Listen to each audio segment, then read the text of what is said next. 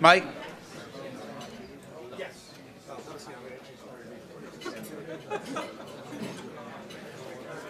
and I'll call on people for the Q&A.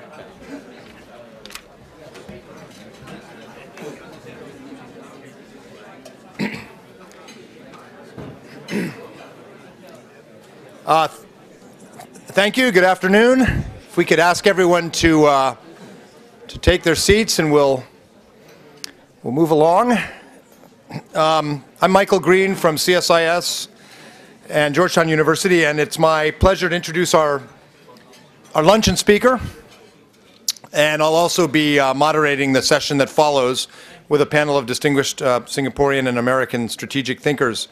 Um, Chee Wee Kiong is the second permanent secretary in the Ministry of Foreign Affairs, Republic of Singapore. He previously served as the director of the division responsible for security and intelligence, and he before that had a career in the Singapore Air Force in um, air uh, defense artillery.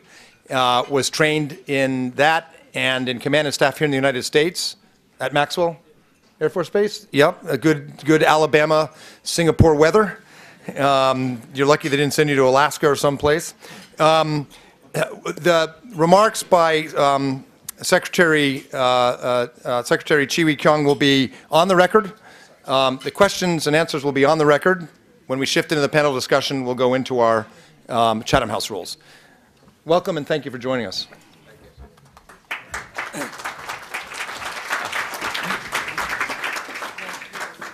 I saw Admiral Blair um, just now. I thought I'd do a confession that we were fellow intelligence chief in our respected country for several years and and recovering intelligence chief and, and the relationship between our two countries uh, are indeed a very strong one and, and, and I think both of us can attest to that that that both in the uh, former and as well as through the security intelligence channel, we, we work closely together.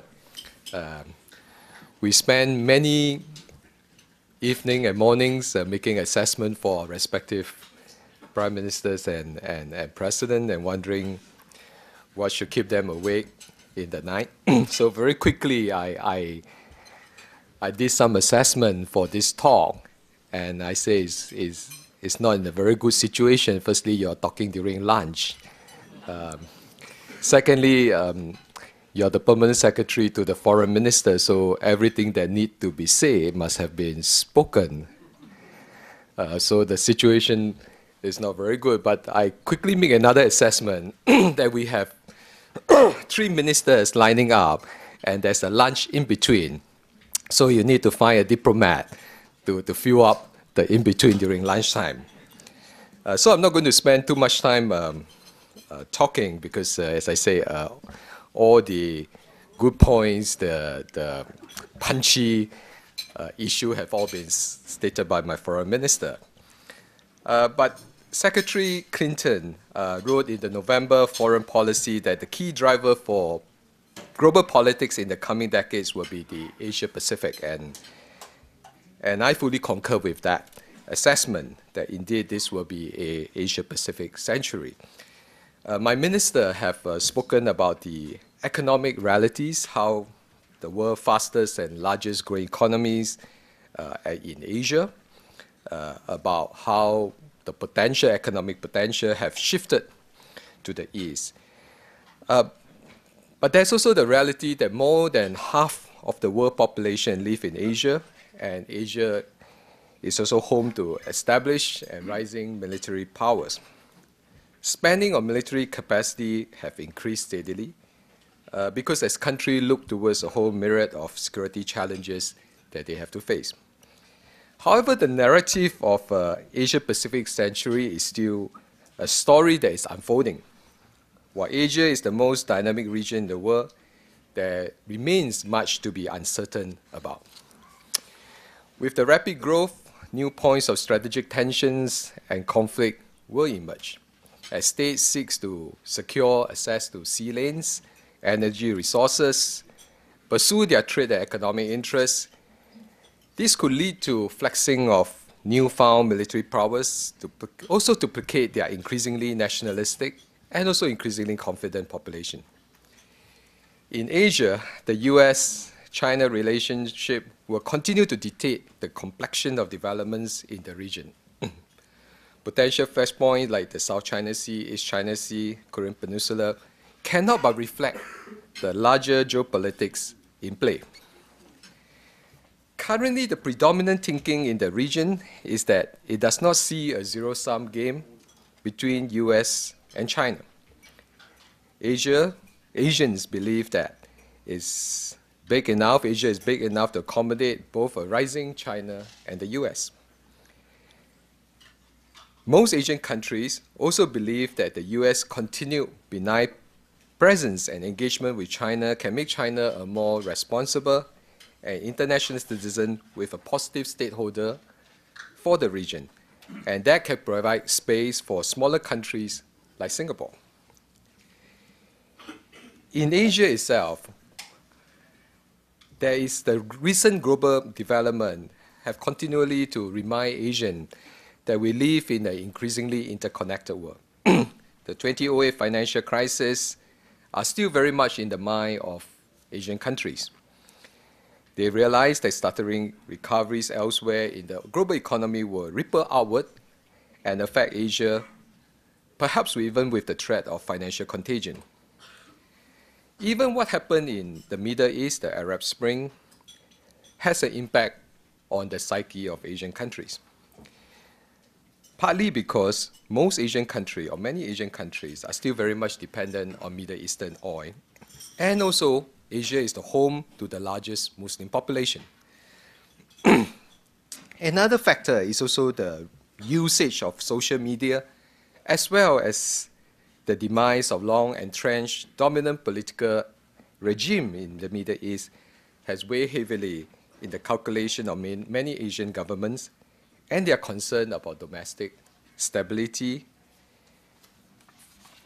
Amidst all this uncertain environment, um, Asian countries know that they are facing increasingly multifaceted, complex, and rapidly evolving challenges. These challenges is transnational and respect no international boundary.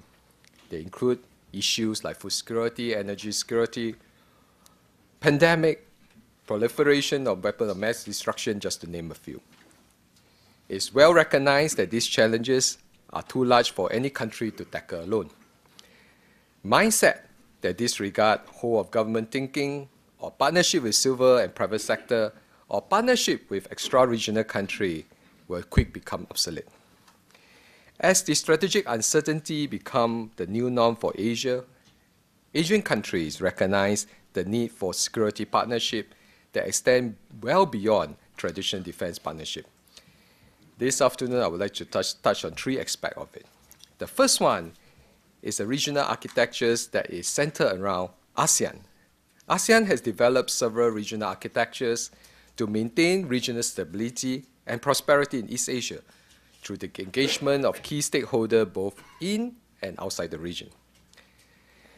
These include the ASEAN Plus One, ASEAN Plus Three, the ASEAN Defense Ministerial Meeting Plus, the ASEAN Regional Forum, and the East Asia Summit.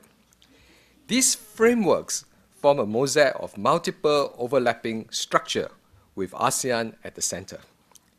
They have developed organically in response to different needs at different times. On the first look, it may appear untidy, but each structure plays its own unique role and complement the others in reflecting the, region's, the region's diversity.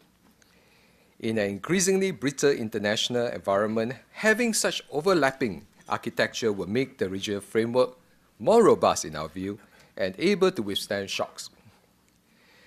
While aimed at different purposes, these fora are all anchored on some fundamental principle, common fundamental principle, like building trust through open and inclusive dialogue, commitment to cooperation and collaboration, and respect for international norm and international law. Large multilateral fora such as the ARF, the East Asia Summit, the ADMM Plus, comprise a broad and inclusive framework, also to encourage cooperation on concrete initiatives both within the region and the extra-regional country. Let me just touch on the EAS. The EAS is now more significant given the former entry of the US along with Russia. US participation will contribute to a more robust and resilient regional architecture, which will in turn promote regional stability and economic prosperity. It will also enrich the discussion on strategic issues, even as the EAS country continue to focus on strengthening functional areas, pursue ASEAN connectivity, and even pursue some economic cooperation. There's a talk about having a comprehensive uh, economic partnership for East Asia.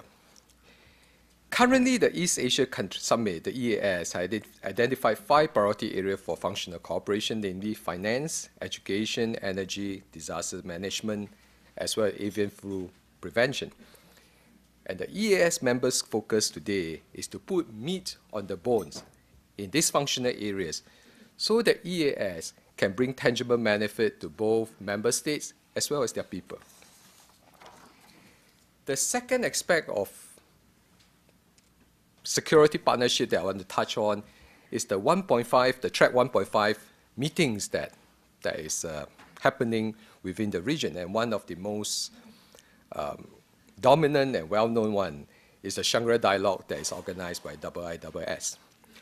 The Shangri-La Dialogue has helped to foster a norm of dialogue, a norm of dialogue.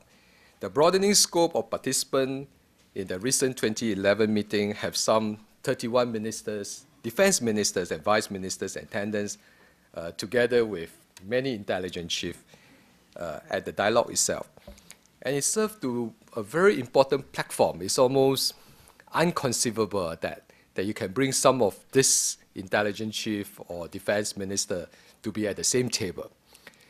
So this track 1.5 meeting at the Shangri-La Dialogue have helped to float many ideas and put many issues that are otherwise not possible to be put at the table itself.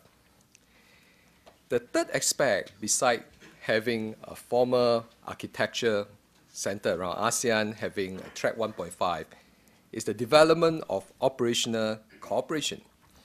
And this is vital as we talk about security partnership within Asia itself. One of these groupings that we can touch on is the Malacca Strait Patrol that have helped to build regional security and enhance trust between maritime forces and navies in the region itself. Malaysia, Indonesia, Thailand, Singapore have banded together to collaborate on our counter-piracy effort via both the Malacca Strait Sea Patrol and the Eye in the Sky Air Patrol. By the way, the Eye in the Sky Air Patrol was first seeded during the Shangri-La Dialogue through a track 1.5 of dialogue. Uh, this effort, I would say, have been successful in reducing incidents in the piracy within the Strait of Malacca in Singapore itself. Not only that, the three littoral states, Singapore, Malaysia, Indonesia, have also worked along with IMO to develop cooperative mechanism to engage extra-regional stakeholders to drive concrete operation, operational cooperation on navigation safety, as well as environment protection for the state. Such cooperative mechanism has provided a focal point for us to bring in key user states like the US, Japan, China, Republic of Korea, and India, so that resources can be put together to contribute and expertise can be put together for various projects. Another example of such possibility of successful operational cooperation is the Regional Cooperation Agreement on combating piracy and armed robbery against ships in Asia, what we call ReCAAP, which is also an open and inclusive platform for governments to share and analyze data on piracy and armed robbery within the Asian region itself. The ReCAAP Information Sharing Center, which is established in Singapore in 2006, has also helped for countries is manned by, I think I was told, some 50, uh, national from, from 15 different places uh, to enhance maritime domain awareness in the Asian region. And it's now sharing a successful model and expertise with even littoral state of the Somali Basin region. What I'm trying to drive is that the principle of shared effort and inclusive cooperation that's behind this operational cooperation will transfer well to the region's effort in tackling future more sensitive security challenges. Uh, example could be terror network. In sum, the three aspects of having a formal regional architecture, having 1.5 dialogue, as well as tangible operational cooperation will help stakeholders both within the region and outside the region to communicate and to cooperate together. In the remaining time before we go into the Q&A, let me talk a little bit about the role of the US. In this overarching regional architecture, all countries desire to deepen understanding and for mutual cooperation. Both major regional and extra-regional power have the necessary roles to play, as do smallest countries like Singapore.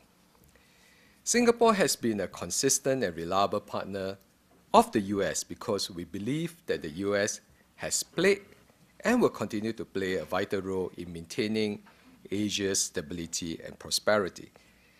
Uh, just to sidetrack from my, my script, I think the fact that the US have been a benign force that have promoted stability and prosperity over many decades is a very strategic asset of the United States. It's something that I think has been underestimated. Most countries are fearful of emerging and big powers, but the fact that the United States have been there for many decades since the World War and have played a benign role in bringing stability and prosperity have created a strategic asset that I think many policymakers should take that into serious consideration. Singapore welcomes the significant stride that has been made over the course of the Obama administration in engaging the region. US ASEAN relations have grown since US accession to the Treaty of Amity and Cooperation in Southeast Asia in 2009.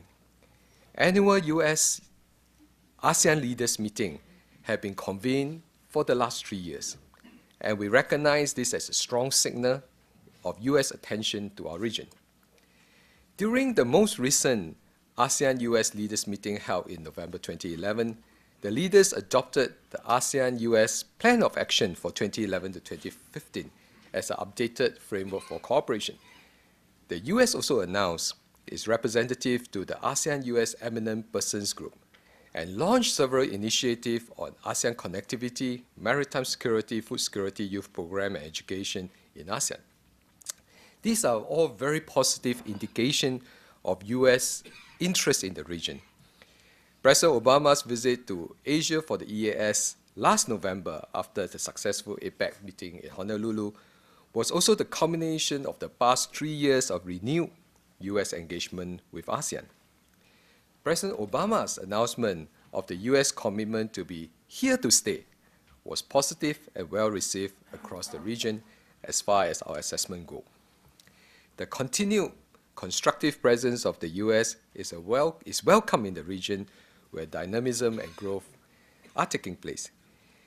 Yet, despite the many high level visits and substantive initiatives that the US is undertaking with countries in the region, the increasingly partisan mood in Congress and the many difficulties that the US economy faces are also not far in the mind of some Asian observers who will consider the sustainability of the US engagement. The focus on traditional military cooperations have appeared to be the key outcome of the visits in November, including the U.S. rotation, Marine, rotation of Marines in Darwin and the step of defense engagement with Philippines. In view with, of this, Singapore being a, a friend of U.S., have urged the administration and, and friends and partners, that it's important for the U.S. to continue to project a coherent and sustained policy of engagement towards Asia. The U.S. can build on the past four years of engagement to broaden and deepen its cooperation with treaty allies, new partners, as well as regional institutions, especially ASEAN. I think my minister have spoken quite a bit of that, and I think that was his key message during this trip to US. Of course, the US continues to play an active role in the ADMM Plus and have provided strategic balance in the regional security architecture. And we in Singapore welcome the US to continue to do that.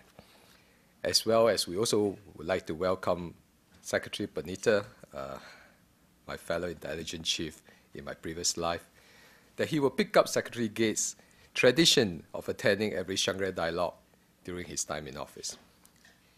This year will mark the 35th year of ASEAN-US relations. ASEAN is working towards its integration and community building target by 2015. It has a population of roughly 600 million, economy about roughly US 1.5 trillion. Therefore, ASEAN has the potential to be one of the world's most dynamic region, and we believe that the US have plenty of scope to play a significant role in promoting this ASEAN growth. ASEAN is also where we believe the contest of idea between major powers will play out most intensely in the coming years.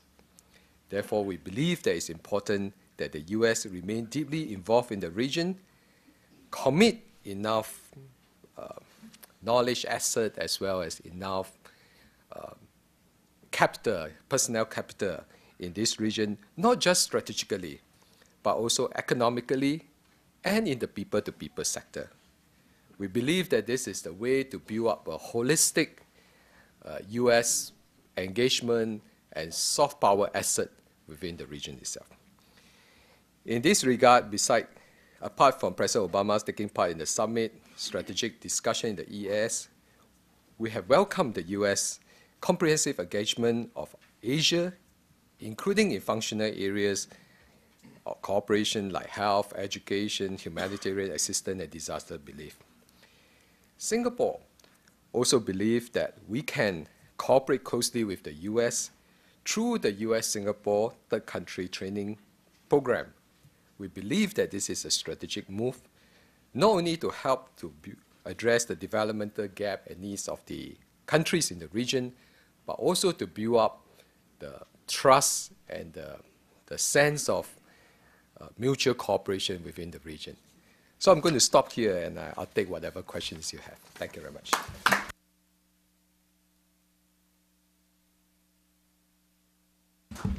Um, thank you, Wee Kiong. That was comprehensive and strategic and exactly um, the right way to start our session.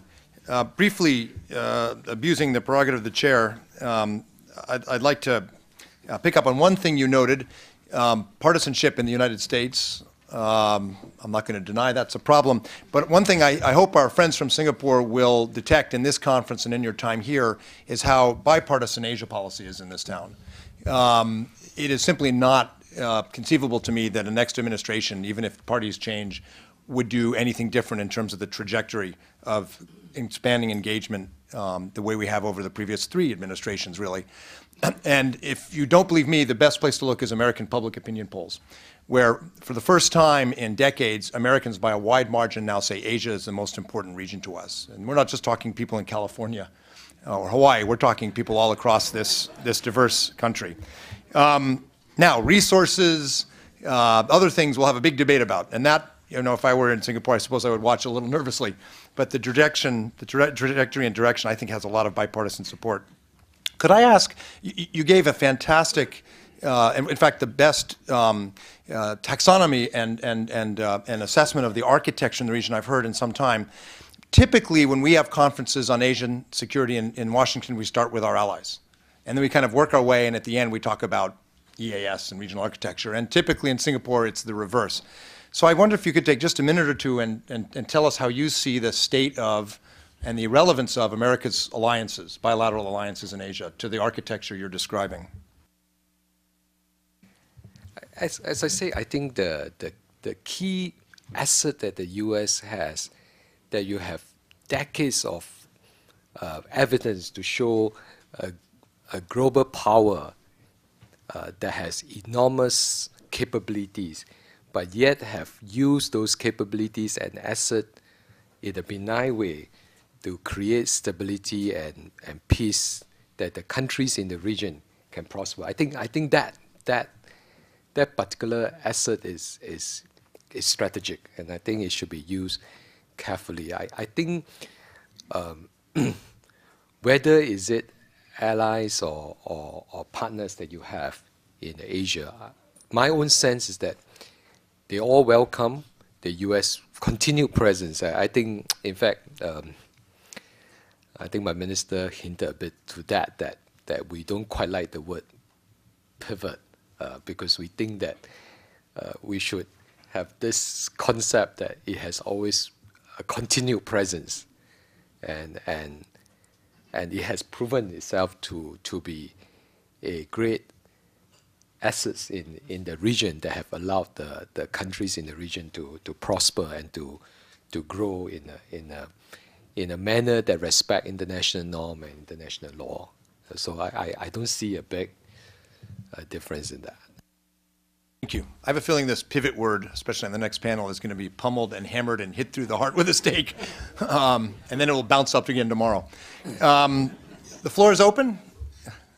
Uh, so we'd uh, entertain your questions. Just raise your hand. We have microphones. Yes, ma'am.